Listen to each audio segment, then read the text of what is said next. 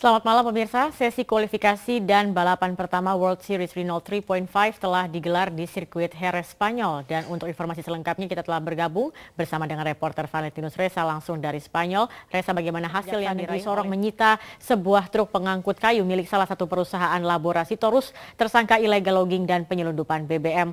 Truk yang disita merupakan salah satu dari daftar aset laborasi Torus yang harus disita sesuai putusan Mahkamah Agung. Dum